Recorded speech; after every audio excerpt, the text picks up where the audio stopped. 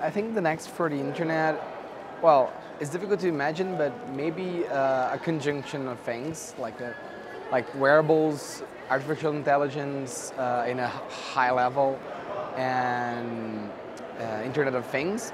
But I don't know. Maybe we we will be not like a whole another level of things in terms of social media too. So.